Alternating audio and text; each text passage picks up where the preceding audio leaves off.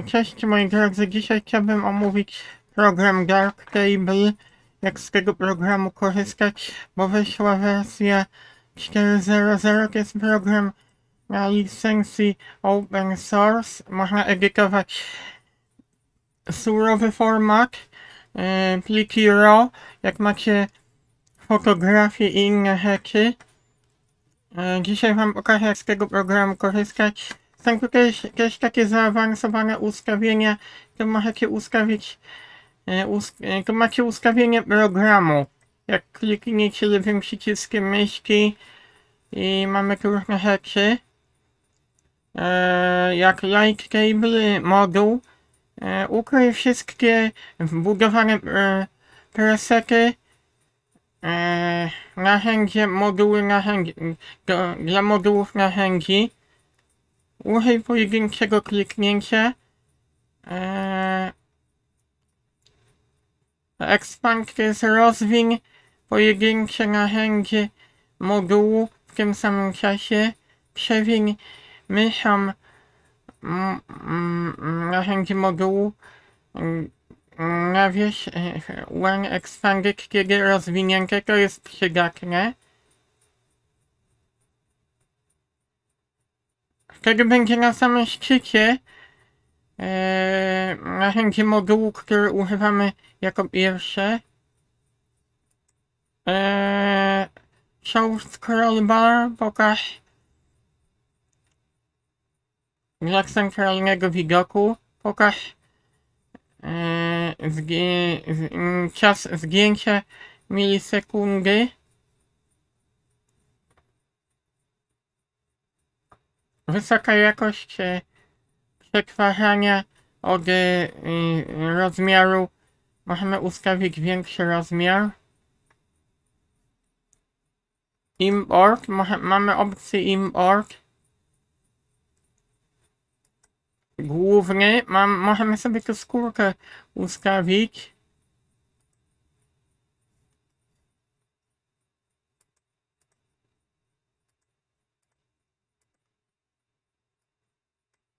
Ja akurat nie lubię, moi drodzy, jak jest ciemne. Możemy język polski, nie wiem czy język polski jest. Niestety polskiego, moi drodzy, nie ma. To trochę nieładnie z ich strony, więc musicie albo po angielsku, albo po niemiecku, czy francusku używać. No bo polskiego, moi drodzy, nie ma. Nawet rosyjski, dalej ukraiński język. Ciekawe czemu języka polskiego nie ma w jakiego programu. Processing. Mamy tutaj e, moduł przetwarzania. 3D Look to jest e, paleta koloru. Nie jestem pewien do końca, ale tutaj mamy jaki rodzaj pikseli. Auto Apply Sharpen, tego nie chcę. To można odznaczyć. Sharpen to jest moduł wyostrzania. O, to jest ciekawe. Dark Cable Resource. Tam Unrestricted Large. Zasoby komputera, jakie możemy używać. To jest disk Bacon, to jest chyba cache dla rozmiarów e, ikon. Thumbnail to jest ta ikonka podgląd, którą mamy. OpenCL wspiera. OpenCL Scheduling Profile. Możemy dać Very fast e, GPU, szybka karta graficzna. Sorry moi drodzy, musiałem na chwilę się skupić. E, co my tu mamy? E, storage, magazynowanie. Miscellaneous to jest różne po angielsku. Program, pokaż moduły jak z, przebierz myszką domyślnie. Po prawej stronie, jak wam pasuje. Tagi.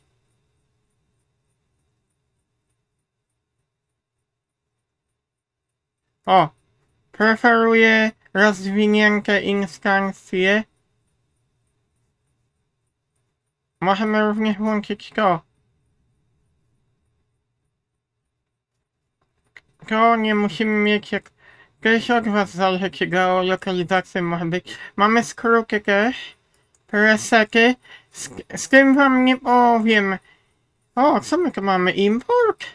Preset możemy importować. Jak to działa? Muszę sprawdzić. Możemy presety importować. Ja chyba mam zdjęcia przetworzone, moi drodzy, w tym katalogu. E, Fotografie 2022, Polska. Editing. Eee, jak to z tymi resetami jest?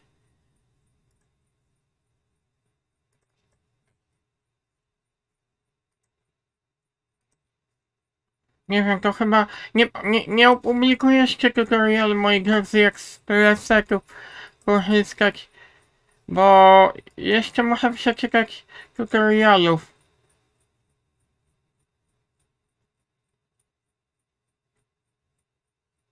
Tu program e, pyta się czy go zrestartować. No to dobra, to go zrestartuję.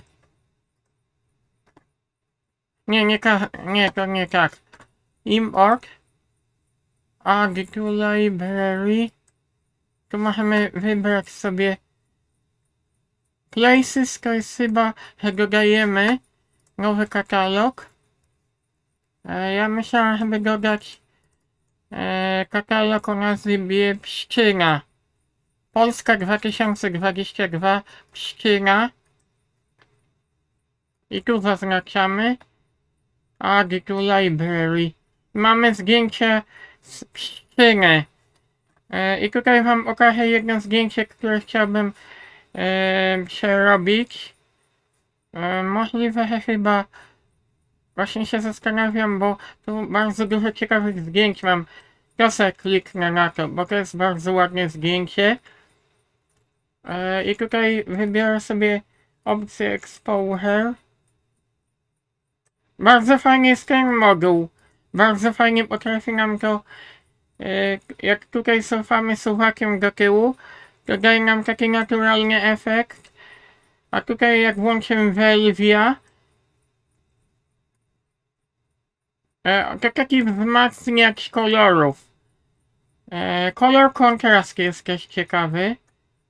I jak chcemy zapisać nasze zdjęcie, moi drodzy, to klikamy na Light Table. To musi być podświetlone, bo jeśli nie jest to zaznaczone, to eksport okna będzie nieaktywny. Dam sobie na 94. Tutaj mamy folder, klikamy lewym przyciskiem na folder i wybieramy sobie jakiś tam katalog. Edited. I tutaj e, usuwam znak dolaru. Tutaj e, zdję- nazwę zdjęcia. Pszczyna 01 i dajemy eksport. I to samo zdjęcie eksportujemy do tego katalogu, który wam pokażę.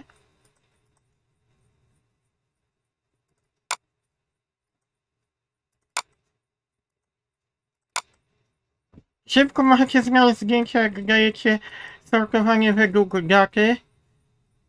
Ale moment, czemu mi się tu nie pojawiło? Nie, tutaj... Gdzie to jest? A jest tu. Z jakiegoś powodu coś myśl nie chce działać. Tak wygląda moje zdjęcie w obszeróbce. E, podkreślam, że używam obiektyw e, jeszcze takiego Helios obiektyw. Ja wam powiem, bo mam aparat Canon. Mam też do niego przejściówkę e, na mocowanie M42. Już wam powiem, jaki to obiektyw.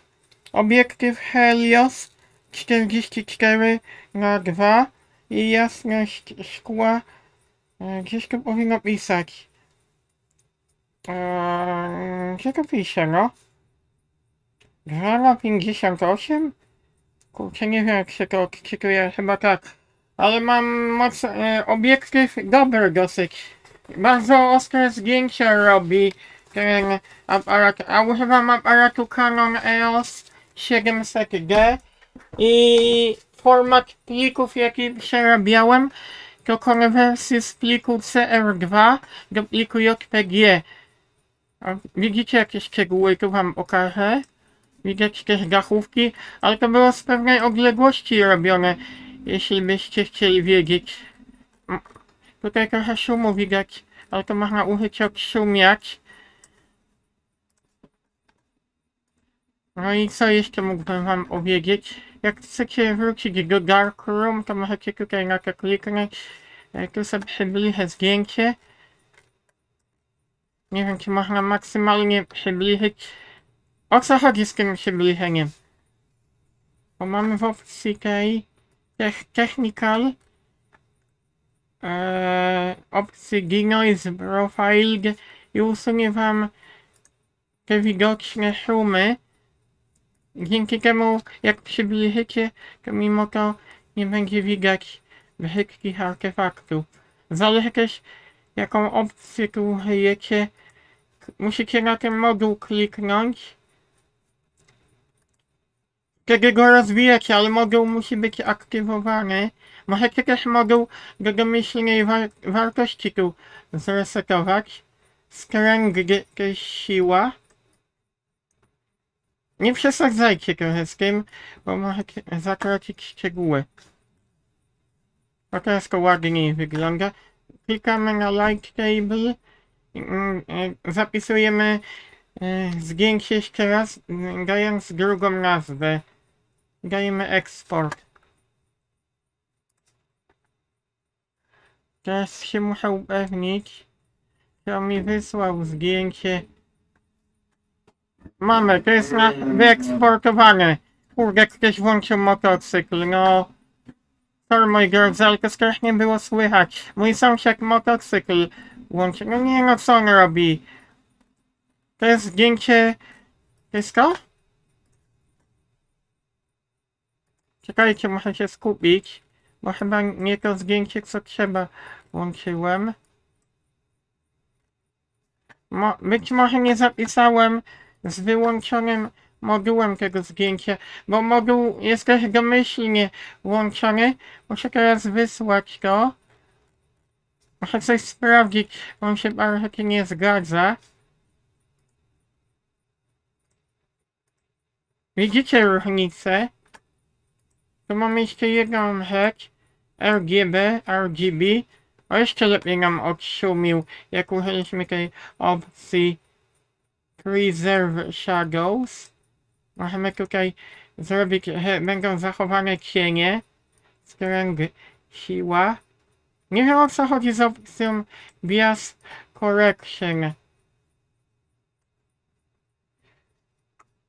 Dobra, wyślę jeszcze raz zdjęcie. 3 na 03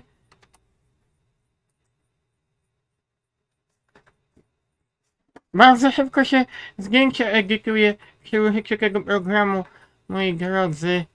To jest to nasze, zdjęcie. Używam przeglądarki Picasa. No i mamy pięknie odszumione e, cegły.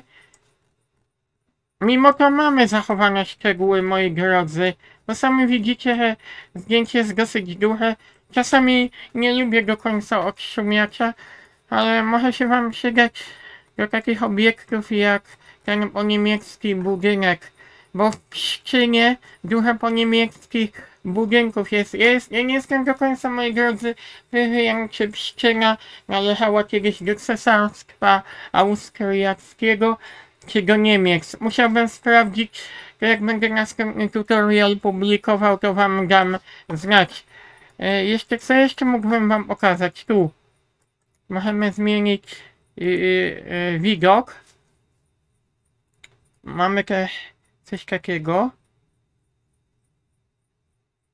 E, Jaki układ graficzny możemy zmienić? Może być taki albo taki. Jeszcze mamy coś takiego. Toggle color label for selected image. A, kolor można ustawić. Ciekawe. Można ustawić, że to zdjęcie na przykład lubicie. Co tu jest? Tutaj możecie ustawić suwak według daty, jak e, robiliście i edytowaliście zdjęcie. Nie do końca to lubię, bo kiedyś jak to używałem, to nie widziałem czemu zdjęcia mi z widoku poznikały. Od razu wam mówię, abyście na to zwrócili uwagę. To możecie kliknąć na to. A, tutaj się to pojawia. Trzy razy jak na to klikniecie, to to znika i się pojawia jeszcze raz pojawia. Raczej abyście tego nie chowali. To jest inny po niemiecki budynek, ale to chyba w Lwówku Śląskim. Chociaż nie, to chyba w Szczynie. Eee, czy, o czym jeszcze nie mówimy? Mamy palekę History. Co to jest? Compress History Skak. Mm, co to jest?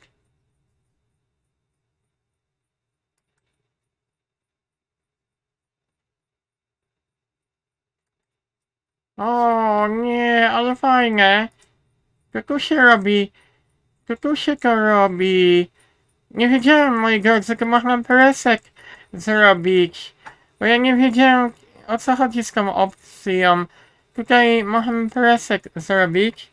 Czyli y, kontrast. Czyli shadow.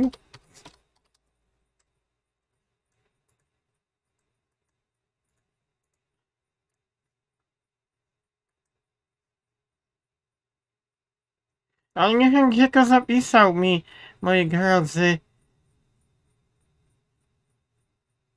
Chodzi o presek. Mm, niech ja pomyślę. Menu preseks.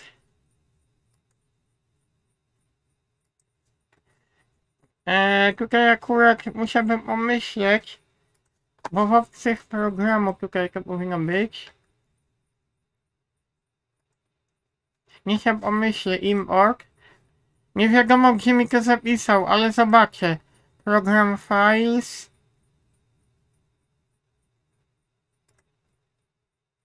Tak.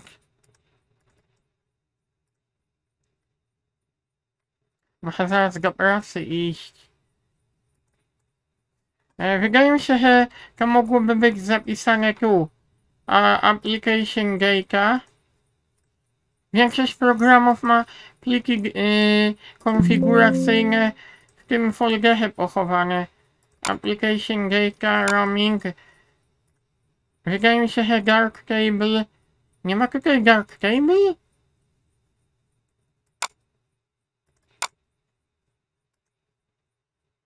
Ojej, to nie... O, tu jest. To, styles. O, tu jest to. Zobaczymy, moi drodzy, czy jest to presek. Bo może to jest presek.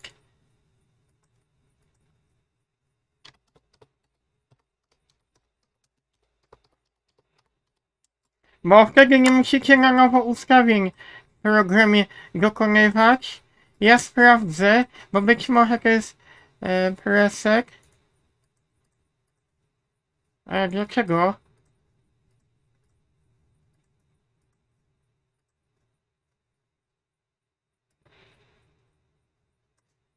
Nie, wiecie co? Co do presetu, jeszcze wam nie opublikuję tutorialu, jak korzystać z presetu. Chyba, że będę mógł zaimportować search only.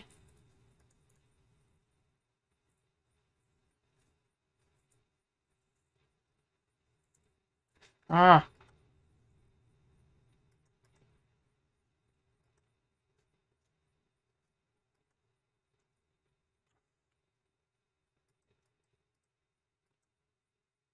Co to jest? Nie, muszę tutorial, moi drodzy, mm, przestudiować. Mm, co my tu mamy? Nie, co to jest? Kurde, no jak się tu robi, no? Tu mamy jakiś eksport. A, tu można zrobić eksport. Nie wiem, od razu wam nie opublikuję tutorialu. E, muszę sam się studiować tą opcję, bo wtedy jakbym presek zapisał do pliku, A wydaje mi się, że chyba będę mógł tak zrobić. Co to? A, tu mamy... Tu mamy tutaj to. Skille. Zaimportowane.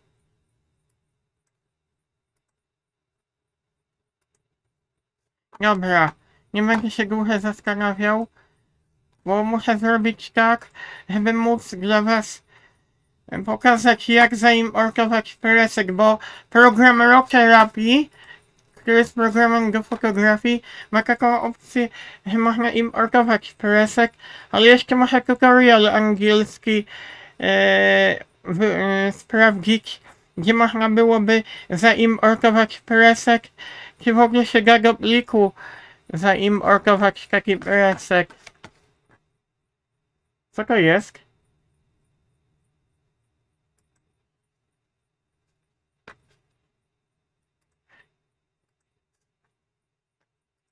O, o to mi chodzi.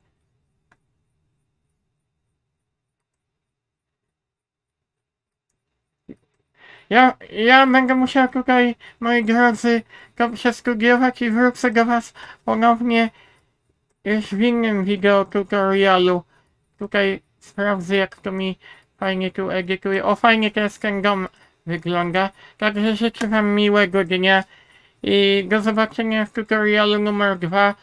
Postaram się was nie zawieść, bo fajnie jest ten program i uważam, że najlepszy do obróbki zdjęć. A y, muszę przestudiować jak y, importować presek, aby nie trzeba było na nowo edytować zdjęć manualnie. Bo presek to zawiera wszystkie te moduły, które zapisaliśmy do jednego pliku, a jak otwieracie presek, to macie automatycznie zoptymalizowane zdjęcie zgodnie z tymi ustawieniami tych modułów.